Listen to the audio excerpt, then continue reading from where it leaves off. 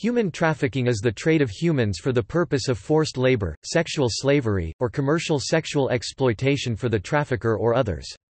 This may encompass providing a spouse in the context of forced marriage, or the extraction of organs or tissues, including for surrogacy and ova removal. Human trafficking can occur within a country or transnationally. Human trafficking is a crime against the person because of the violation of the victim's rights of movement through coercion and because of their commercial exploitation. Human trafficking is the trade in people, especially women and children, and does not necessarily involve the movement of the person from one place to another. According to the International Labour Organization (ILO), forced labor alone, one component of human trafficking, generates an estimated $150 billion in profits per annum as of 2014. In 2012, the ILO estimated that 21 million victims are trapped in modern-day slavery.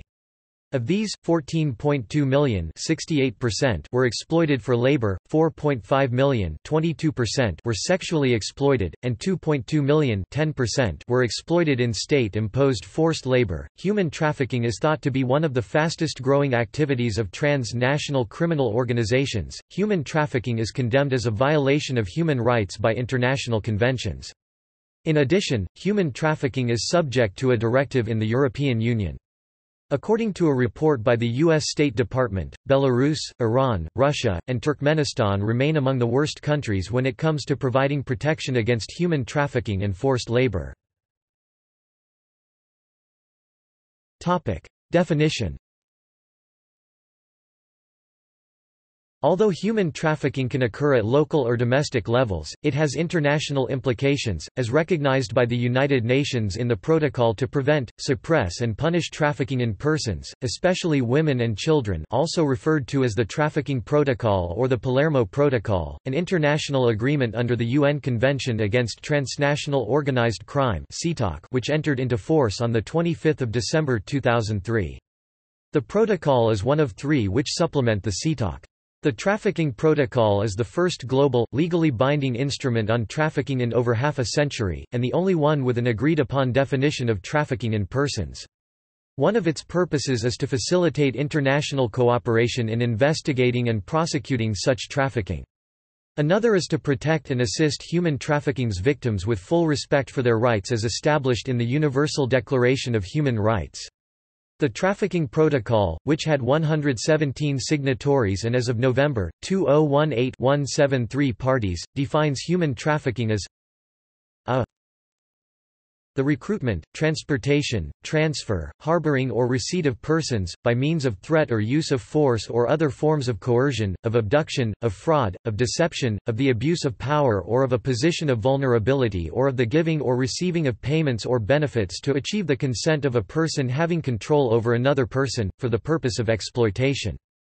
Exploitation shall include, at a minimum, the exploitation of the prostitution of others or other forms of sexual exploitation, forced labor or services, slavery or practices similar to slavery, servitude or the removal, manipulation or implantation of organs, b the consent of a victim of trafficking in persons to the intended exploitation set forth in subparagraph a of this article shall be irrelevant where any of the means set forth in subparagraph a have been used c the recruitment, transportation, transfer, harboring or receipt of a child for the purpose of exploitation shall be considered trafficking in persons, even if this does not involve any of the means set forth in subparagraph a of this article.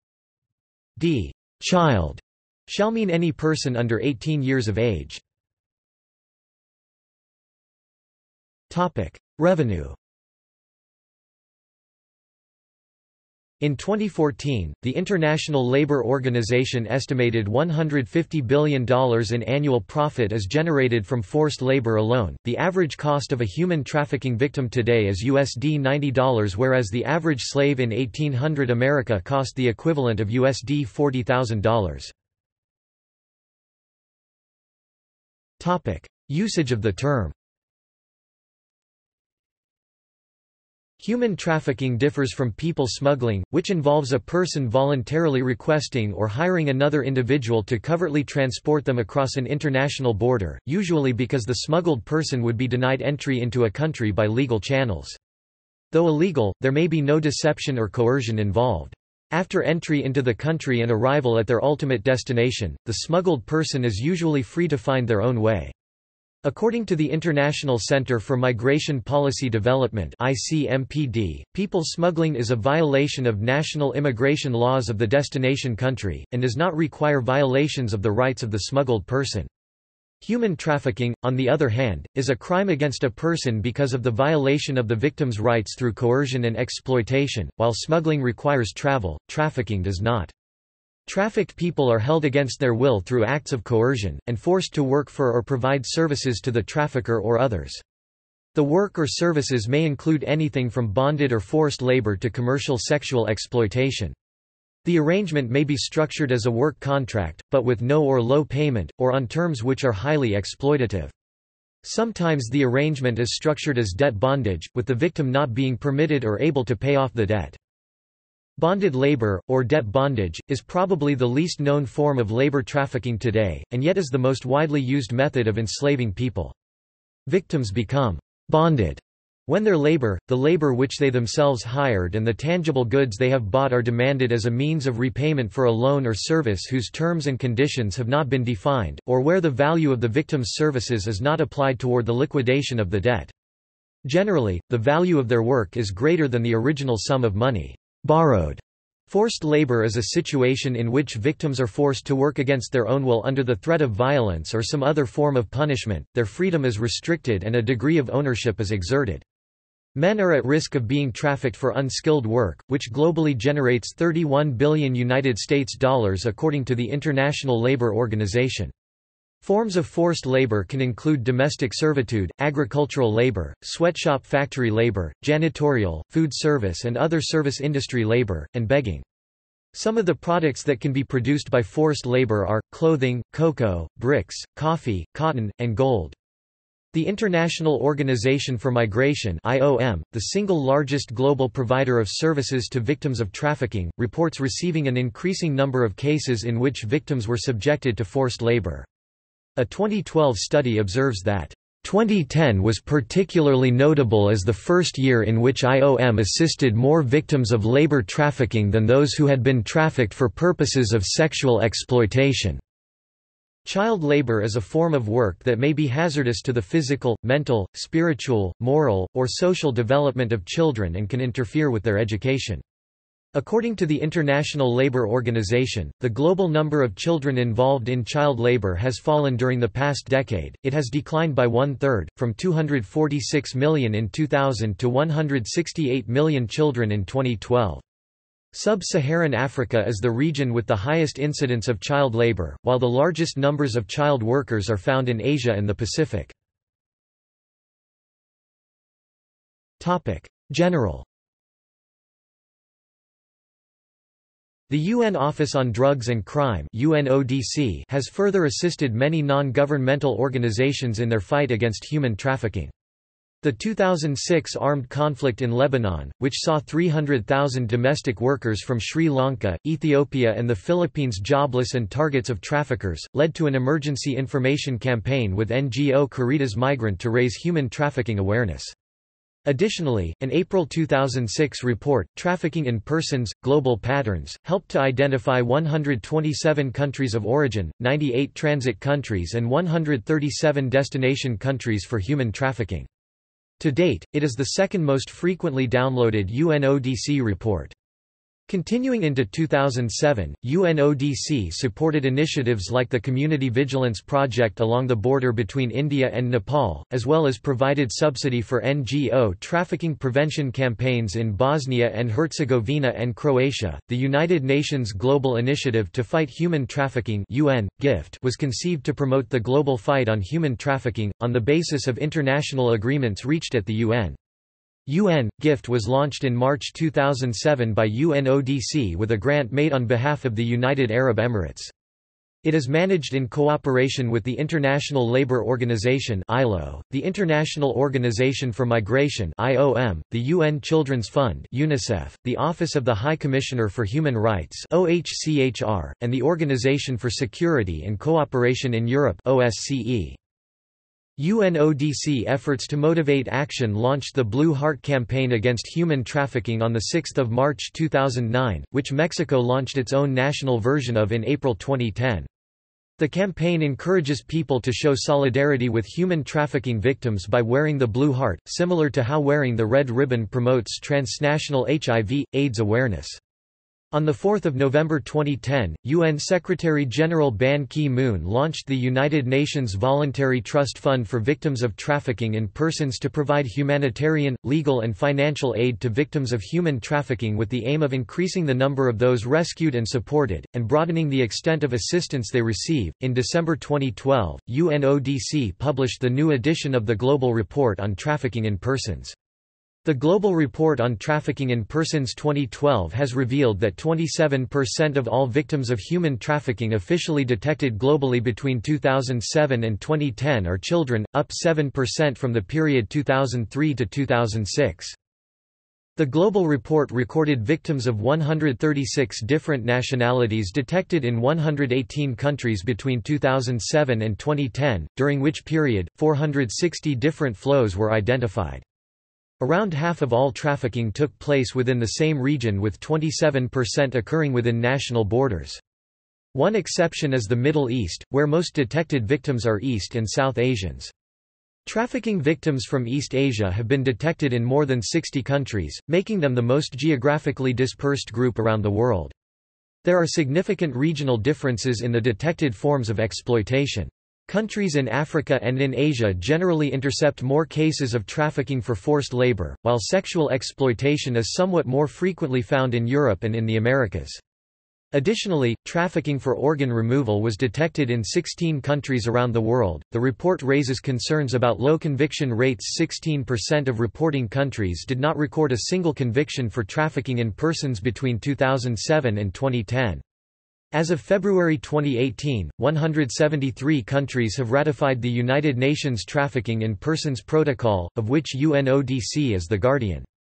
Significant progress has been made in terms of legislation. As of 2012, 83% of countries had a law criminalizing trafficking in persons in accordance with the protocol. Topic: Current international treaties general. Supplementary Convention on the Abolition of Slavery, entered into force in 1957 Protocol to prevent, suppress and punish trafficking in persons, especially women and children. Protocol against the smuggling of migrants by land, sea and air. Optional Protocol on the sale of children, child prostitution and child pornography. ILO Forced Labor Convention, 1930 number 29 ILO Abolition of Forced Labor Convention, 1957 number 105 ILO Minimum Age Convention, 1973 number 138 ILO Worst Forms of Child Labor Convention, 1999 number 182 Topic United States In 2002, Derek Ellerman and Katherine Chon founded a non-government organization called Polaris Project to combat human trafficking. In 2007, Polaris instituted the National Human Trafficking Resource Center where callers can report tips and receive information on human trafficking. Polaris website and hotline informs the public about where cases of suspected human trafficking have occurred within the United States. The website records calls on a map. In 2007, the U.S. Senate designated the 11th of January as a National Day of Human Trafficking Awareness in an effort to raise consciousness about this global, national and local issue. In 2010, 2011, 2012 and 2013, President Barack Obama proclaimed January as National Slavery and Human Trafficking Prevention Month. Along with these initiatives libraries across the United States are beginning to contribute to human trafficking awareness. Slowly, libraries are turning into educational centers for those who are not aware of this issue.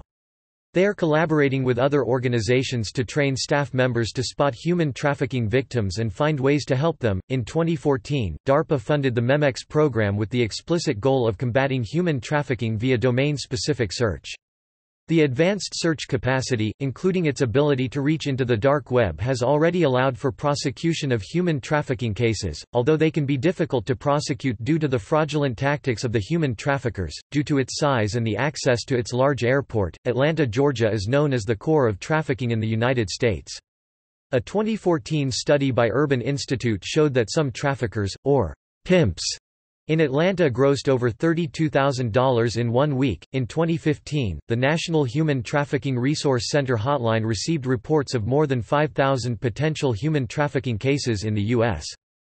Children comprise up to one-third of all victims, while women make up more than half. Human trafficking is a big business and it is a major problem in South Florida and one of the hotspots of this crime is on Miami Beach. Police in the city say they arrested three dozen suspected human traffickers in 2017.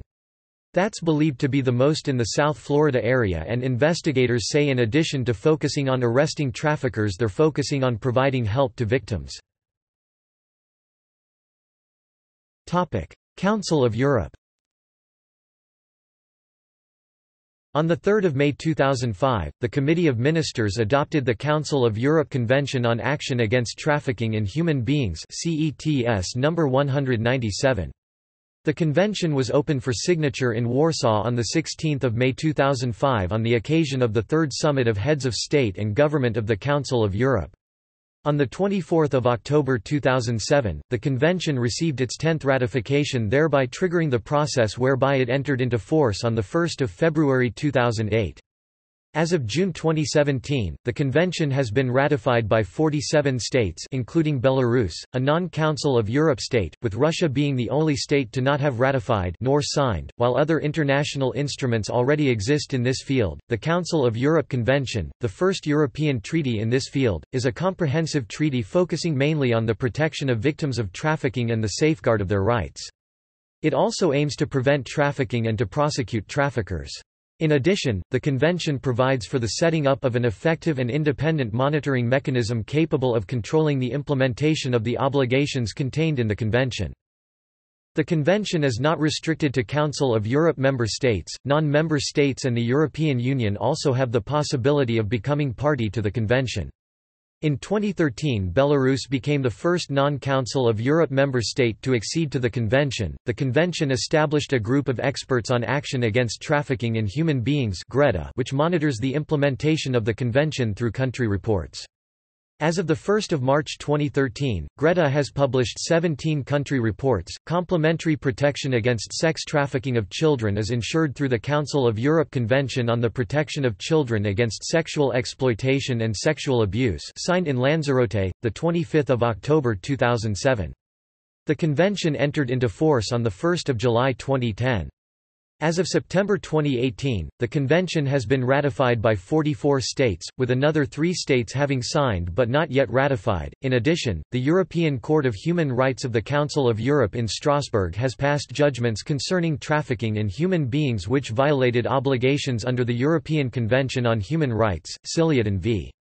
France, judgment of 26 July 2005, and Rantsev v. Cyprus and Russia, judgment of 7 January 2010.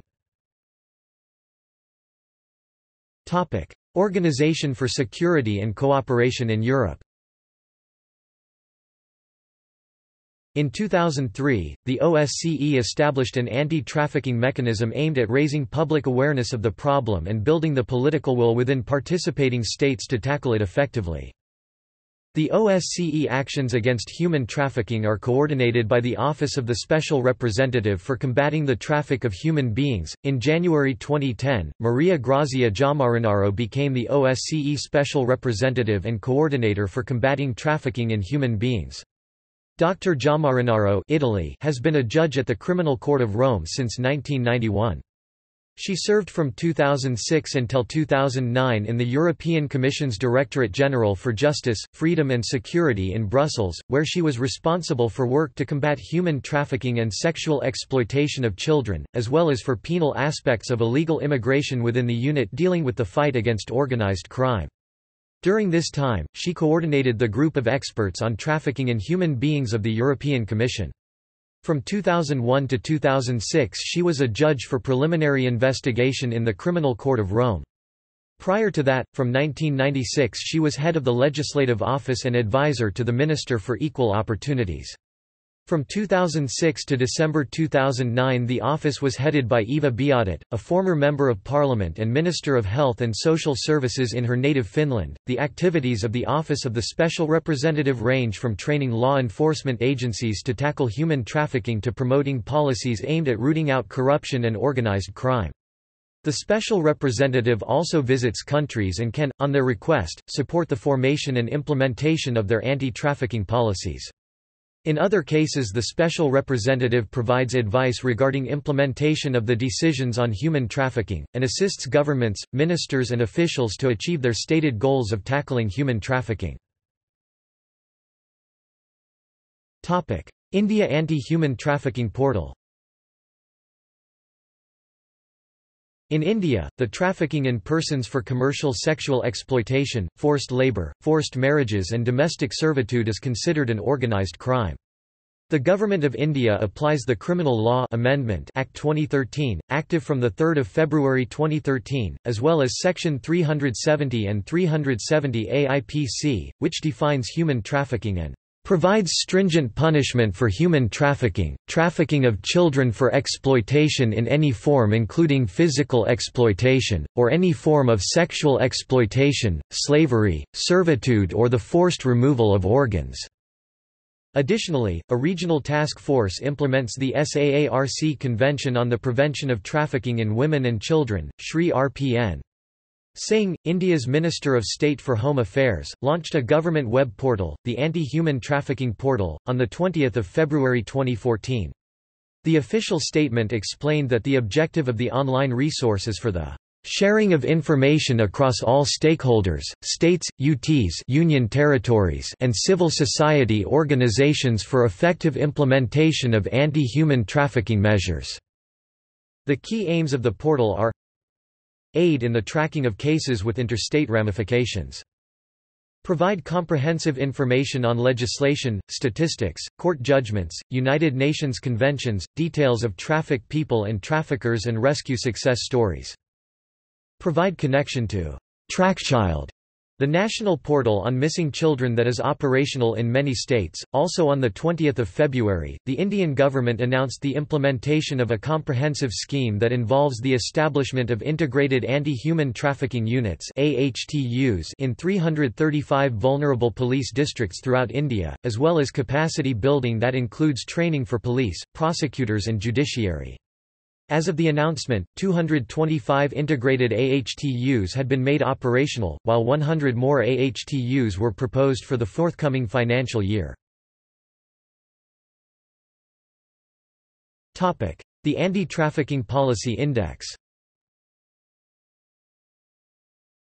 The 3P Anti-Trafficking Policy Index measured the effectiveness of government policies to fight human trafficking based on an evaluation of policy requirements prescribed by the United Nations Protocol to Prevent, Suppress and Punish Trafficking in Persons, especially Women and Children 2000. .The policy level was evaluated using a five-point scale, where a score of 5 indicates the best policy practice, while score 1 is the worst. This scale was used to analyze the main three anti-trafficking policy areas, I prosecuting criminalizing traffickers, E protecting victims, and E preventing the crime of human trafficking. Each sub-index of prosecution, protection and prevention was aggregated to the overall index with an unweighted sum, with the overall index ranging from a score of 3 worst to 15 best. It is available for up to 177 countries annually for 2000 to 2015. The 2015 report, published in 2016, is the last as of the 26th of November 2018. In 2015, three countries demonstrated the highest possible rankings in policies for all three dimensions overall score 15. These countries were Austria, Spain and the United Kingdom. There were four countries with a near-perfect score of 14 Belgium, Philippines, Armenia, and South Korea. Four more scored 13 points, including the USA. The worst score, the minimum possible, is 3. In addition to North Korea, Libya, Syria, Eritrea and the BES Islands scored 3 with both Iran and Russia scoring only 4 along with Kiribati, Yemen, and Equatorial Guinea. For more information view the Human Trafficking Research and Measurement website. Religious declaration In 2014, for the first time in history major leaders of many religions, Buddhist, Anglican, Catholic, and Orthodox Christian, Hindu, Jewish, and Muslim, met to sign a shared commitment against modern-day slavery. The declaration they signed calls for the elimination of slavery and human trafficking by the year 2020. The signatories were, Pope Francis, Mata Amritanandamayi also known as Amma, Bhikkhuni Thich Nhu Chan Khong representing Zen Master Thich Nhat Hanh, Datuk K. Sri Dhammaratana, Chief High Priest of Malaysia, Rabbi Abraham Skorka, Rabbi David Rosen, Abbas Abdallah Abbas Solomon, Under-Secretary of State of Al-Azhar al-Sharif representing Muhammad Ahmed El Tayeb, Grand Imam of Al-Azhar, Grand Ayatollah Muhammad Taqi al-Madarisi, Sheikh Nazaya Razak Jafar, Special Advisor advisor of Grand Ayatollah representing Grand Ayatollah Sheikh Bashir Hussain al-Najafi, Sheikh Omar Aboud, Justin Welby, Archbishop of Canterbury, and Metropolitan Emmanuel of France representing Ecumenical Patriarch Bartholomew. Anti-trafficking initiatives One of the organizations taking the most active part in the anti-trafficking is the United Nations. In early 2016 the Permanent Mission of the Republic of Kazakhstan to the United Nations held an interactive discussion entitled, "'Responding to Current Challenges in Trafficking in Human Beings". One of the current efforts being done to combat human trafficking is an app called TraffickCam. This app was created by the Exchange Initiative and researchers at Washington University. TraffickCam was launched on June 20, 2016 and enables anyone to take photos of their hotel rooms, which then gets uploaded to a large database of hotel images. Since human trafficking victims are often found in hotel rooms for online advertisements, law enforcement and investigators can use these photos to help find and prosecute traffickers. Anti trafficking awareness and fundraising campaigns constitute a significant portion of anti trafficking initiatives. The 24-hour race is one such initiative that focuses on increasing awareness among high school students in Asia. The Blue Campaign is another anti-trafficking initiative that works with the U.S. Department of Homeland Security to combat human trafficking and bring freedom to exploited victims. Vulnerable groups Trafficking in Persons report released in June 2016 states that Refugees and migrants, lesbian, gay, bisexual, transgender, and intersex LGBTI individuals, religious minorities, people with disabilities, and those who are stateless are the most at risk for human trafficking. Governments best protect victims from being exploited when the needs of vulnerable populations are understood. Additionally, in its protocol to prevent, suppress and punish trafficking in persons, especially women and children, the United Nations notes that women and children are particularly at risk for human trafficking and revictimization. The protocol requires state parties not only to enact measures that prevent human trafficking but also to address the factors that exacerbate women and children's vulnerability, including poverty, underdevelopment and lack of equal opportunity. Topic: Types. Topic: Trafficking of children. Trafficking of children involves the recruitment, transportation, transfer, harboring, or receipt of children for the purpose of exploitation. Commercial sexual exploitation of children can take many forms, including forcing a child into prostitution or other forms of sexual activity or child pornography. Child exploitation may also involve forced labor or services, slavery or practices similar to slavery, servitude, the removal of organs, illicit international adoption, trafficking for early marriage, recruitment as child soldiers, for use in begging or as athletes such as child camel jockeys or football players. IOM statistics indicate that a significant minority 35% of trafficked persons it assisted in 2011 were less than 18 years of age, which is roughly consistent with estimates from previous years. It was reported in 2010 that Thailand and Brazil were considered to have the worst child sex trafficking records. Traffickers in children may take advantage of the parents' extreme poverty. Parents may sell children to traffickers in order to pay off debts or gain income, or they may be deceived concerning the prospects of training and a better life for their children. They may sell their children into labor, sex trafficking, or illegal adoptions. The adoption process, legal and illegal, when abused can sometimes result in cases of trafficking of babies and pregnant women from developing countries to the West. In David M. Smolin's 2005 papers on child trafficking and adoption scandals between India and the United States, he presents the systemic vulnerabilities in the inter-country adoption system that makes adoption scandals predictable. The United Nations Convention on the Rights of the Child at Article 34, states, States parties undertake to protect the child from all forms of sexual exploitation and sexual abuse. In the European Union, commercial sexual exploitation of children is subject to a directive, Directive 2011-92, EU of the European Parliament and of the Council of 13 December 2011 on combating the sexual abuse and sexual exploitation of children and child pornography, the Hague Convention on Protection of Children and Cooperation in Respect of Intercountry Adoption or Hague Adoption Convention is an international convention dealing with international adoption, that aims at preventing child laundering, child trafficking, and other abuses related to international adoption. The optional protocol on the involvement of children in armed conflict seeks to prevent forceful recruitment e.g. by guerrilla forces of children for use in armed conflicts. Sex trafficking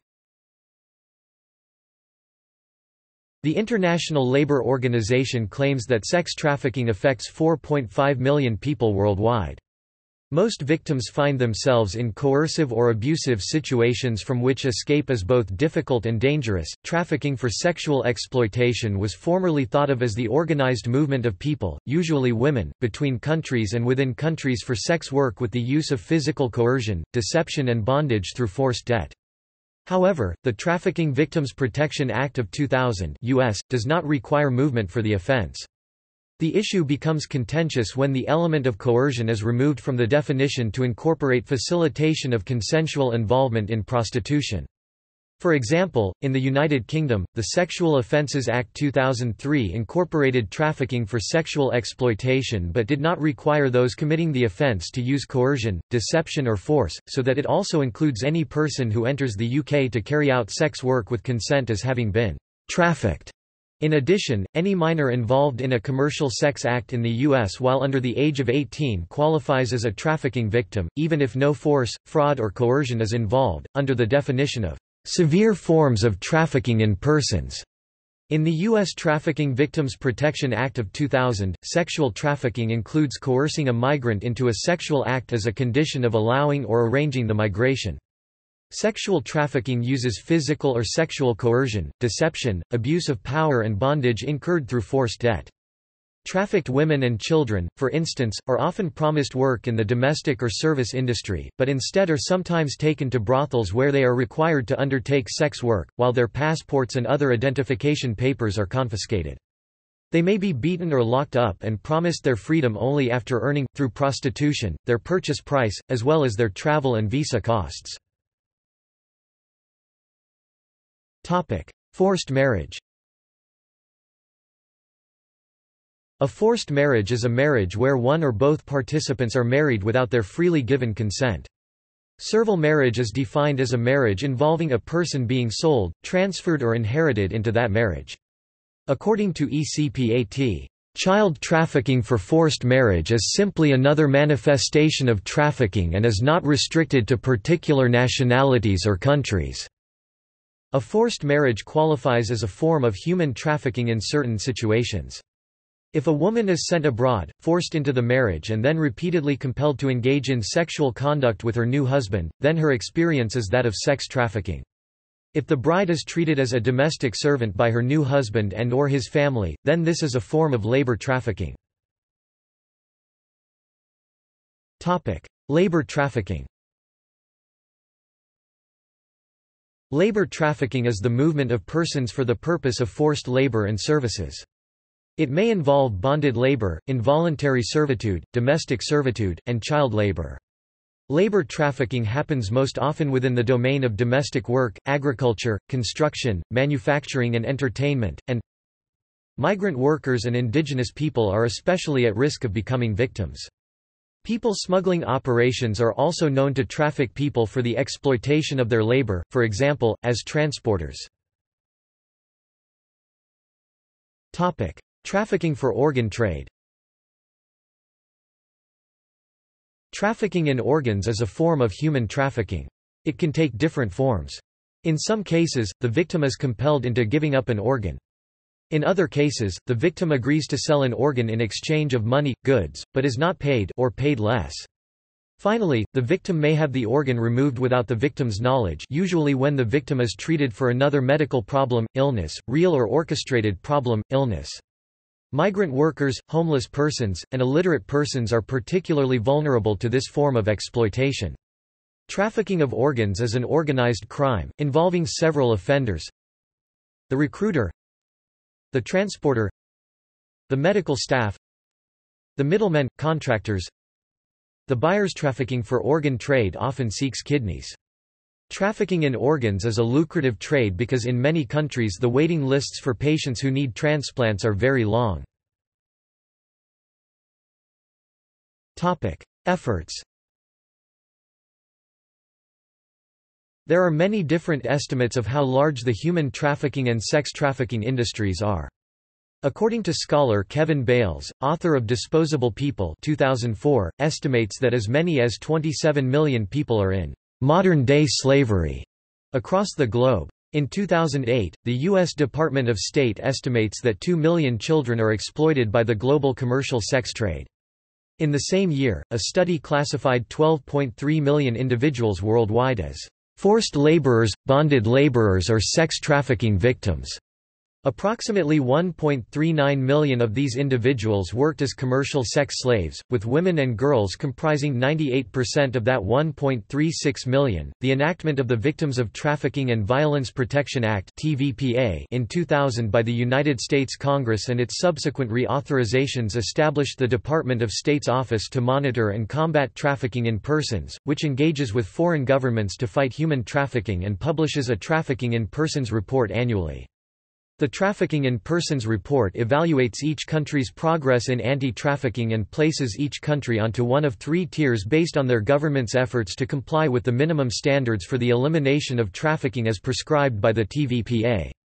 However, questions have been raised by critical anti-trafficking scholars about the basis of this tier system, its heavy focus on compliance with State Department protocols, and its failure to consider risk and the likely prevalence of trafficking when rating the efforts of diverse countries. In particular, there were three main components of the TVPA, commonly called the three Ps.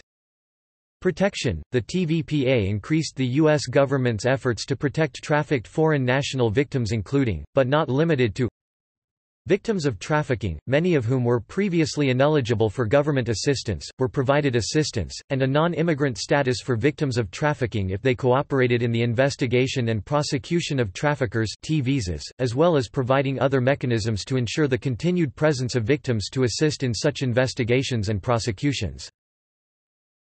Prosecution – The TVPA authorized the U.S. government to strengthen efforts to prosecute traffickers including, but not limited to, creating a series of new crimes on trafficking, forced labor, and document servitude that supplemented existing limited crimes related to slavery and involuntary servitude, and recognizing that modern-day slavery takes place in the context of fraud and coercion, as well as force, and is based on new clear definitions for both trafficking into sexual exploitation and labor exploitation. Sex trafficking was defined as a commercial sex act that is induced by force, fraud, or coercion, or in which the person induced to perform such an act has not attained 18 years of age." Labor trafficking was defined as the recruitment, harboring, transportation, provision, or obtaining of a person for labor or services, through the use of force, fraud, or coercion for the purpose of subjection to involuntary servitude, peonage, debt bondage, or slavery. Prevention – The TVPA allowed for increased prevention measures including, authorizing the U.S. government to assist foreign countries with their efforts to combat trafficking, as well as address trafficking within the United States, including through research and awareness raising, and providing foreign countries with assistance in drafting laws to prosecute trafficking, creating programs for trafficking victims, and assistance with implementing effective means of investigation. Then Secretary of State Hillary Clinton later identified a fourth P partnership in 2009 to serve as a pathway to progress in the effort against modern-day slavery. Topic: Structural factors A complex set of factors fuel sex trafficking, including poverty, unemployment, social norms that discriminate against women, commercial demand for sex, institutional challenges, and globalization. Poverty and globalization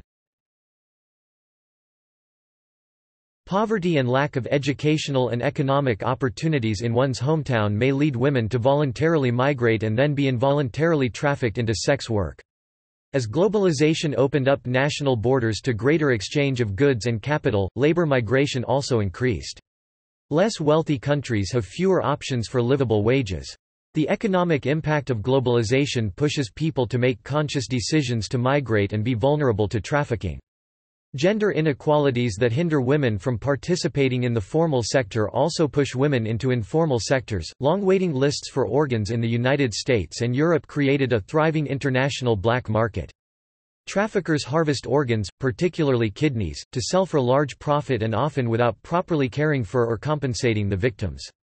Victims often come from poor, rural communities and see few other options than to sell organs illegally.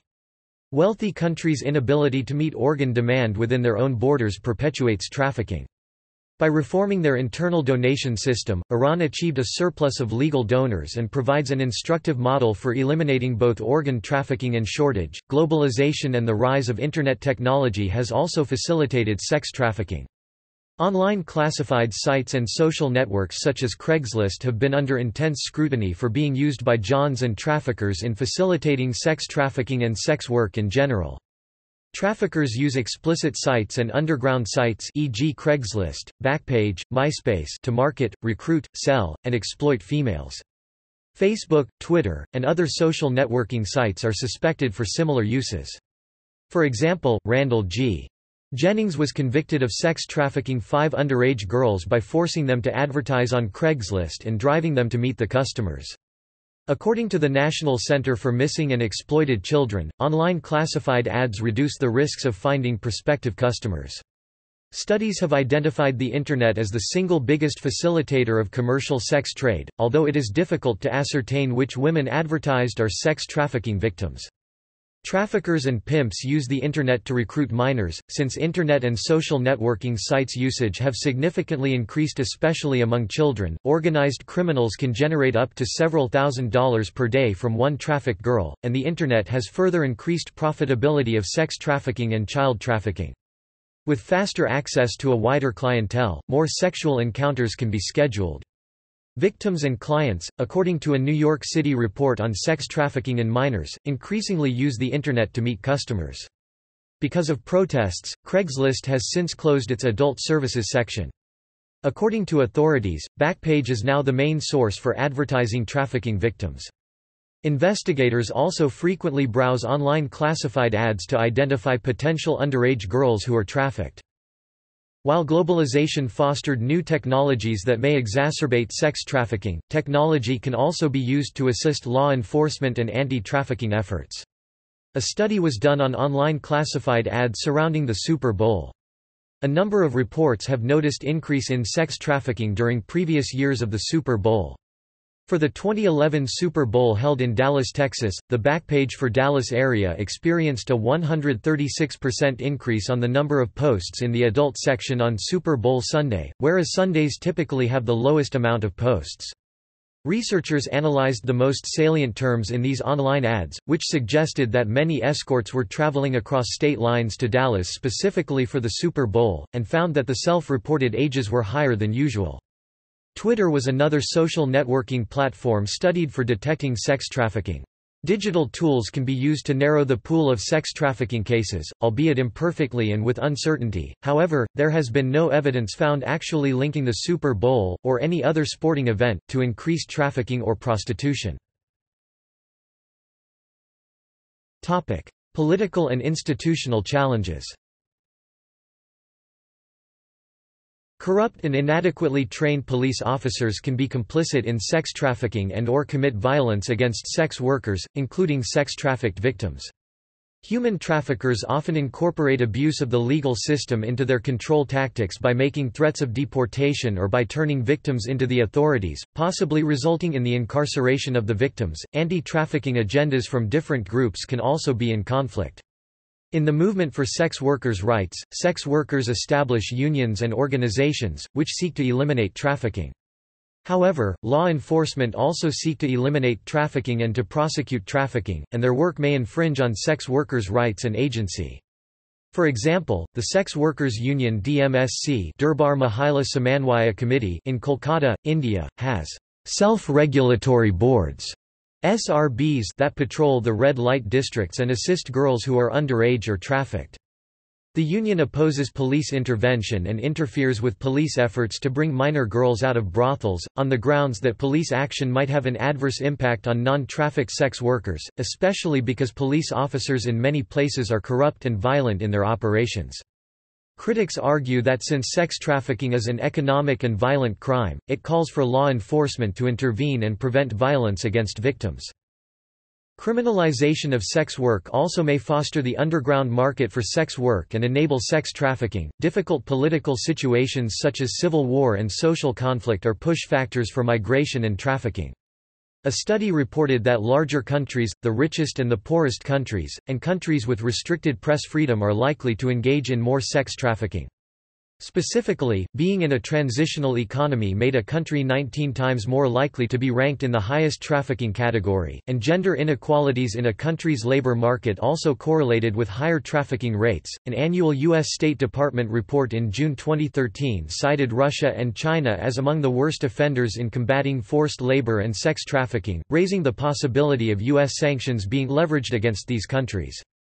In 1997 alone as many as 175,000 young women from Russia, as well as the former Soviet Union, were sold as commodities in the sex markets of the developed countries in Europe and the Americas. In 2013, the Supreme Court of Canada declared the laws which effectively prohibited prostitution illegal.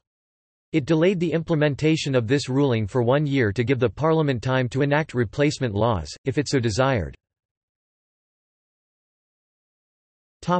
Commercial demand for sex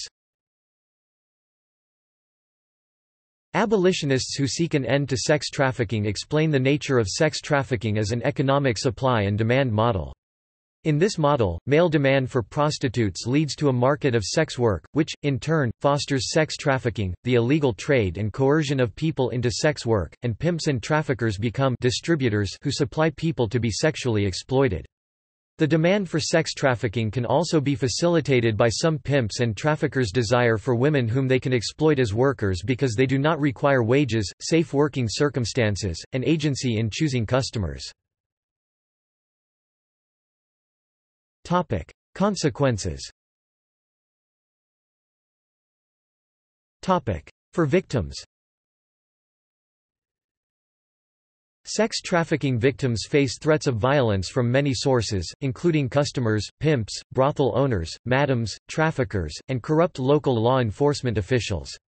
Raids as an anti-sex trafficking measure have the potential to help, and also to protect sex-trafficked victims. Because of their potentially complicated legal status and their potential language barriers, the arrest or fear of arrest creates stress and other emotional trauma for trafficking victims. Victims may also experience physical violence from law enforcement during raids. The challenges facing victims often continue of course, after their experience of rescue or removal from coercive sexual exploitation. In addition to coping with their past traumatic experiences, former trafficking victims often experience social alienation in the host and home countries. Stigmatization, social exclusion, and intolerance often make it difficult for former victims to integrate into their host community, or to reintegrate into their former community.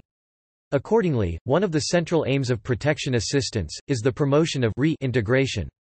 Too often however, governments and large institutional donors offer little funding to support the provision of assistance and social services to former trafficking victims.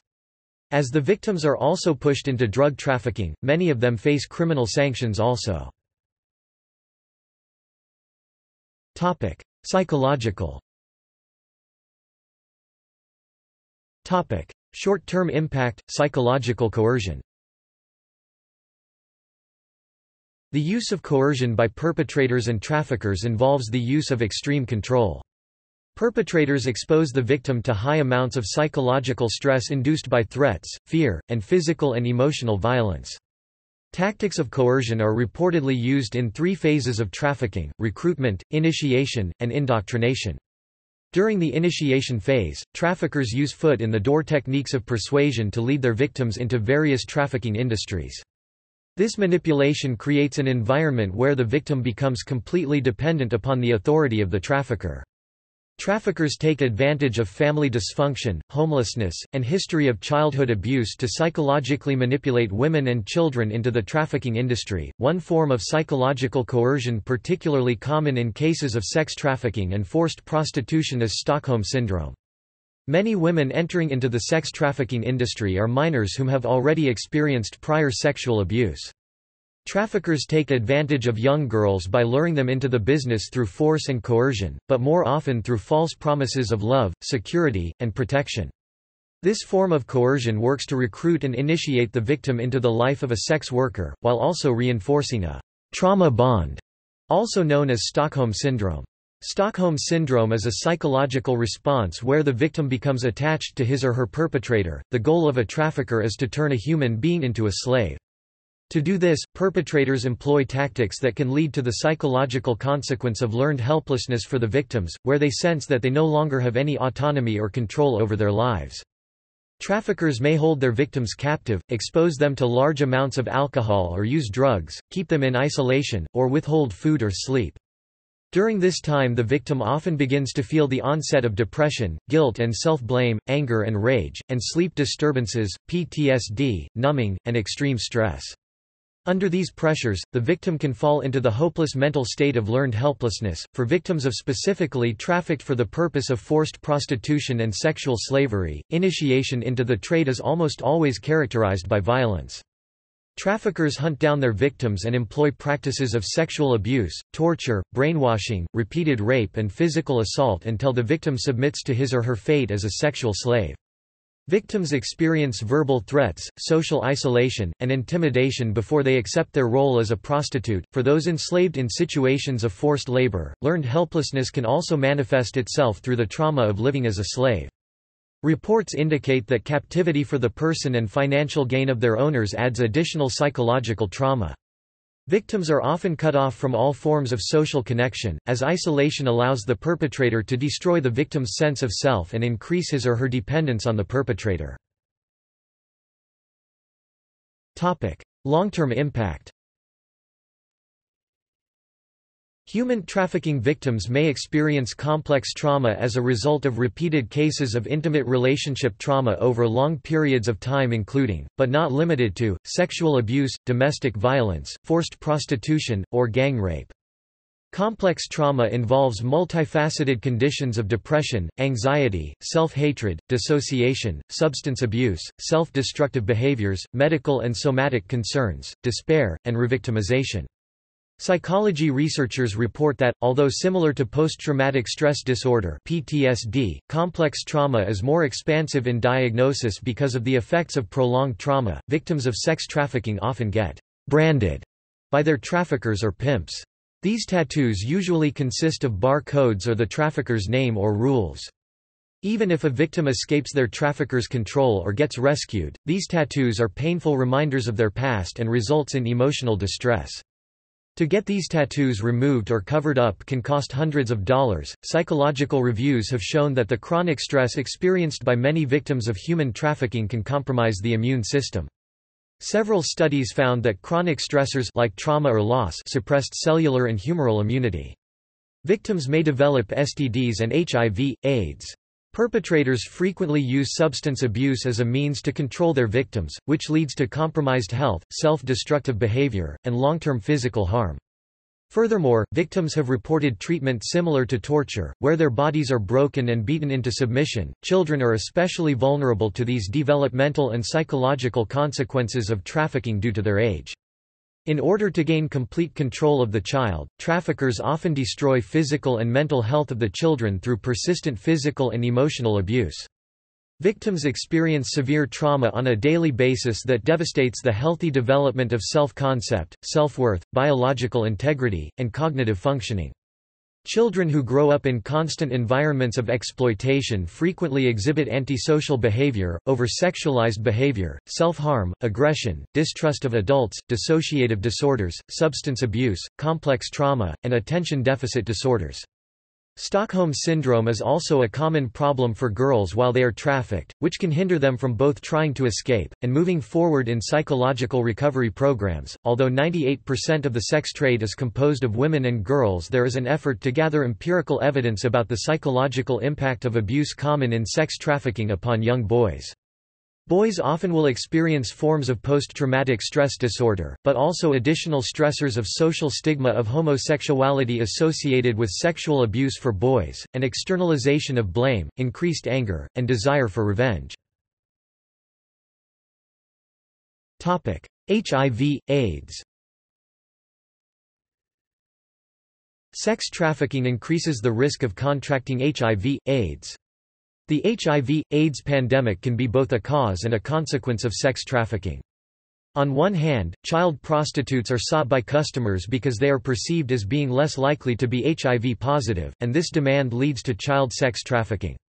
On the other hand, trafficking leads to the proliferation of HIV, because victims, being vulnerable and often young, inexperienced, cannot protect themselves properly, and get infected. Economic impacts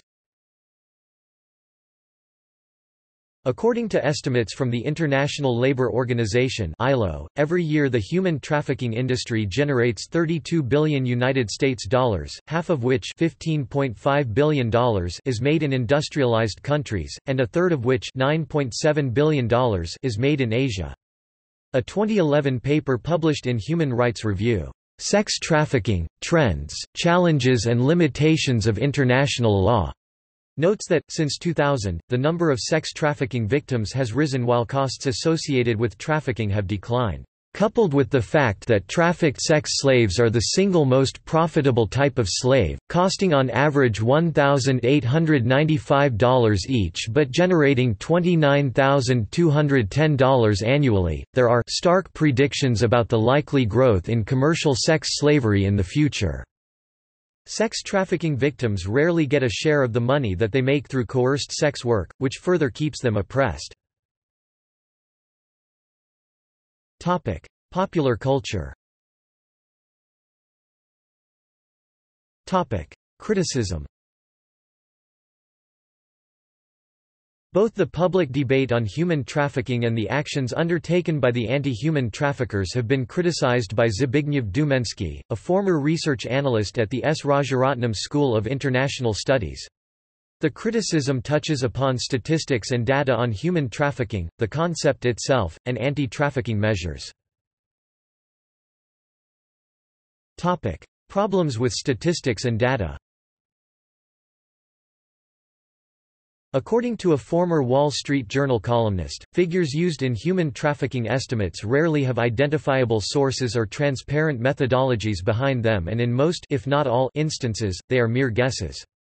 Dumienski and Laura Agustín argue that this is a result of the fact that it is impossible to produce reliable statistics on a phenomenon happening in the shadow economy.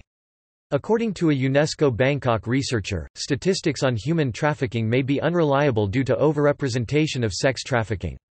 As an example, he cites flaws in Thai statistics, who discount men from their official numbers because by law they cannot be considered trafficking victims due to their gender. A 2012 article in the International Communication Gazette examined the effect of two communication theories, agenda building and agenda setting, on media coverage on human trafficking in the United States and Britain.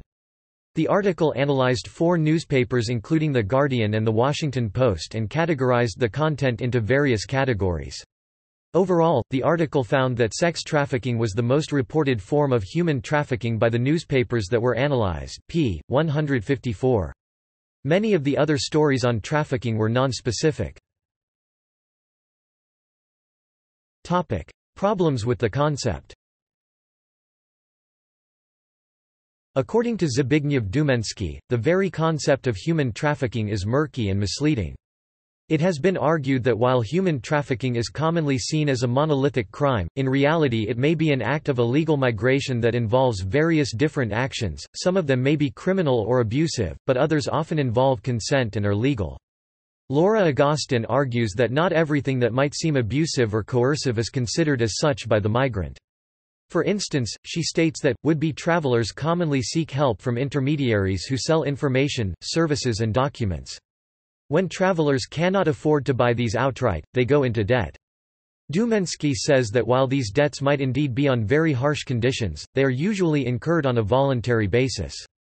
Furthermore, anti-human trafficking actors often conflate clandestine migratory movements with forms of exploitation covered in human trafficking definitions, ignoring the fact that a migratory movement is not a requirement for human trafficking victimization. The critics of the current approaches to trafficking say that a lot of the violence and exploitation faced by illegal migrants derives precisely from the fact that their migration and their work are illegal and not primarily because of trafficking. The International Save the Children organization also stated, the issue, however, gets mired in controversy and confusion when prostitution too is considered as a violation of the basic human rights of both adult women and minors, and equal to sexual exploitation per se. Trafficking and prostitution become conflated with each other, on account of the historical conflation of trafficking and prostitution both legally and in popular understanding. An overwhelming degree of effort and interventions of anti trafficking groups are concentrated on trafficking trafficking into prostitution. Claudia Aradau of Open University claims that NGOs involved in anti-sex trafficking often employ politics of pity, which promotes that all trafficked victims are completely guiltless, fully coerced into sex work, and experience the same degrees of physical suffering. One critic identifies two strategies that gain pity, denunciation, attributing all violence and suffering to the perpetrator, and sentiment, exclusively depicting the suffering of the women. NGOs' use of images of unidentifiable women suffering physically help display sex trafficking scenarios as all the same. She points out that not all trafficking victims have been abducted, abused physically, and repeatedly raped, unlike popular portrayals. A study of the relationships between individuals who are defined as sex trafficking victims by virtue of having a procurer especially minors concluded that assumptions about victimization and human trafficking do not do justice to the complex and often mutual relationships that exist between sex workers and their third parties. Problems with anti-trafficking measures Groups like Amnesty International have been critical of insufficient or ineffective government measures to tackle human trafficking. Criticism includes a lack of understanding of human trafficking issues, poor identification of victims and a lack of resources for the key pillars of anti-trafficking, identification, protection, prosecution and prevention. For example, Amnesty International has called the UK government's new anti-trafficking measures, not fit for purpose, Topic: Victim identification and protection in the UK. In the UK, human trafficking cases are processed by the same officials to simultaneously determine the refugee and trafficking victim statuses of a person.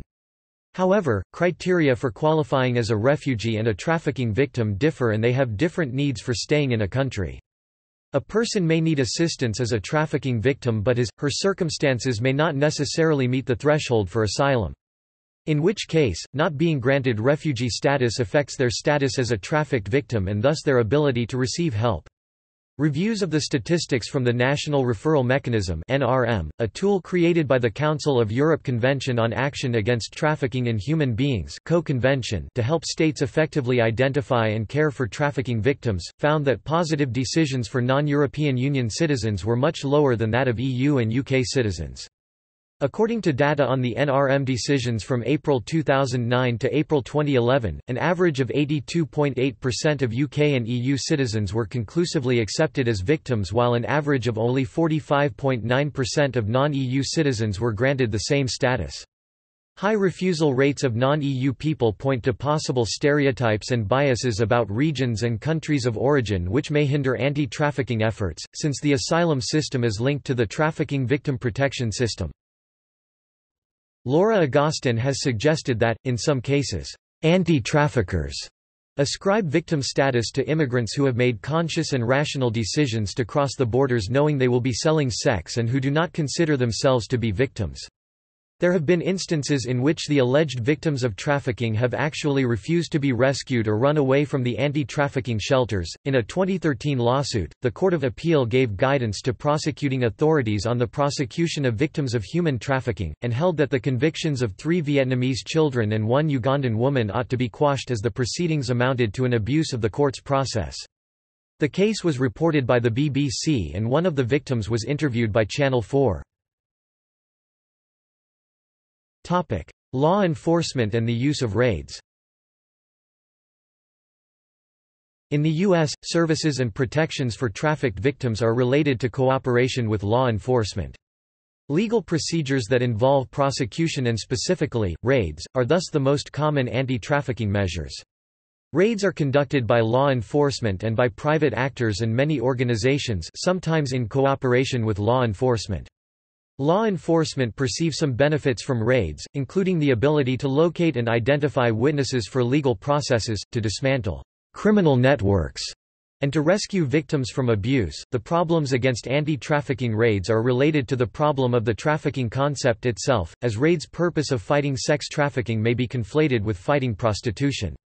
The Trafficking Victims Protection Reauthorization Act of 2005 TVPRA gives state and local law enforcement funding to prosecute customers of commercial sex, therefore some law enforcement agencies make no distinction between prostitution and sex trafficking.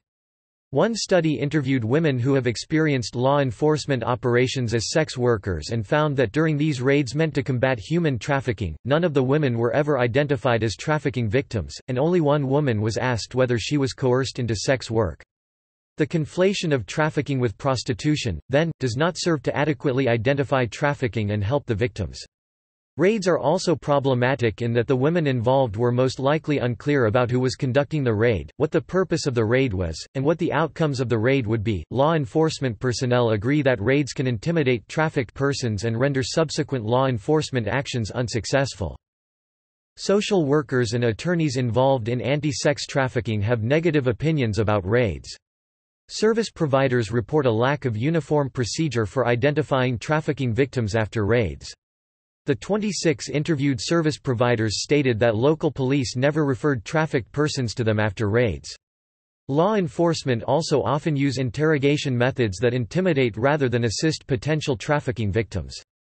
Additionally, sex workers sometimes face violence from the police during raids and arrests and in rehabilitation centers, as raids occur to brothels that may house sex workers as well as sex trafficked victims. Raids affect sex workers in general. As clients avoid brothel areas that are raided but do not stop paying for sex, voluntary sex workers will have to interact with customers underground. Underground interactions means that sex workers take greater risks, whereas otherwise they would be cooperating with other sex workers and with sex worker organizations to report violence and protect each other. One example of this is with HIV prevention. Sex workers collectives monitor condom use, promote HIV testing, and cares for and monitor the health of HIV-positive sex workers. Raids disrupt communal HIV care and prevention efforts, and if HIV-positive sex workers are rescued and removed from their community, their treatments are disrupted, furthering the spread of AIDS. Scholars Aziza Ahmed and Meena Seshu suggest reforms in law enforcement procedures so that raids are last resort, not violent, and are transparent in its purposes and processes. Furthermore, they suggest that since any trafficking victims will probably be in contact with other sex workers first, working with sex workers may be an alternative to the raid and rescue model. End demand programs Critics argue that end demand programs are ineffective in that prostitution is not reduced. John schools have little effect on deterrence and portray prostitutes negatively, and conflicts in interest arise between law enforcement and NGO service providers. A study found that Sweden's legal experiment criminalizing clients of prostitution and providing services to prostitutes who want to exit the industry in order to combat trafficking did not reduce the number of prostitutes, but instead increased exploitation of sex workers because of the higher risk nature of their work. No proper citation given for this study. The conclusion is strongly disputed. Other studies indicate that the policy is successful. The same study reported that John's inclination to buy sex did not change as a result of John's schools, and the programs targeted Johns who are poor and colored immigrants. Some John schools also intimidate Johns into not purchasing sex again by depicting prostitutes as drug addicts, HIV positive, violent, and dangerous, which further marginalizes sex workers. John schools require program fees, and police's involvement in NGOs who provide these programs create conflicts of interest especially with money involved. Modern feminist perspectives There are different feminist perspectives on sex trafficking. The third-wave feminist perspective of sex trafficking seeks to harmonize the dominant and liberal feminist views of sex trafficking. The dominant feminist view focuses on sexualized domination, which includes issues of pornography, female sex labor in a patriarchal world, rape, and sexual harassment. Dominant feminism emphasizes sex trafficking as forced prostitution and considers the act exploitative. Liberal feminism sees all agents as capable of reason and choice. Liberal feminists support sex workers' rights, and argue that women who voluntarily chose sex work are autonomous. The liberal feminist perspective finds sex trafficking problematic where it overrides consent of individuals. Third wave feminism harmonizes the thoughts that while individuals have rights, overarching inequalities hinder women's capabilities. Third wave feminism also considers that women who are trafficked and face oppression do not all face the same kinds of oppression. For example, third-wave feminist proponent Shelley Cavalieri identifies oppression and privilege in the intersections of race, class, and gender. Women from low socioeconomic class, generally from the Global South, face inequalities that differ from those of other sex trafficking victims. Therefore, it advocates for catering to individual trafficking victim because sex trafficking is not monolithic, and therefore there is not a one-size-fits-all intervention. This also means allowing individual victims to tell their unique experiences rather than essentializing all trafficking experiences. Lastly, third-wave feminism promotes increasing women's agency both generally and individually, so that they have the opportunity to act on their own behalf. Third-wave feminist perspective of sex trafficking is loosely related to Amartya Sen's and Martha Nussbaum's visions of the human capabilities approach to development. It advocates for creating viable alternatives for sex trafficking victims. Nussbaum articulated four concepts to increase trafficking victims' capabilities, education for victims and their children, microcredit and increased employment options, labor unions for low-income women in general, and social groups that connect women to one another. Social norms According to modern feminists, women and girls are more prone to trafficking also because of social norms that marginalize their value and status in society. By this perspective females face considerable gender discrimination both at home and in school.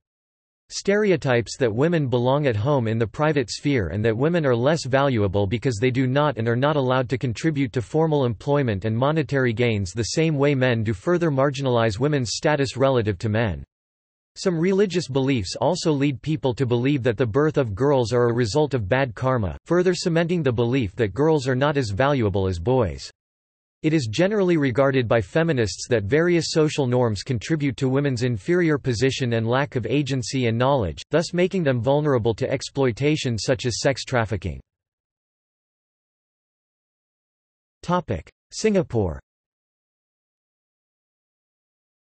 As of 2016, Singapore acceded to the United Nations Trafficking in Persons Protocol and affirmed on 28 September 2015 the commitment to combat people trafficking, especially women and children. See also. References. External links Trafficking of women at Curlie. Global Report on Trafficking in Persons.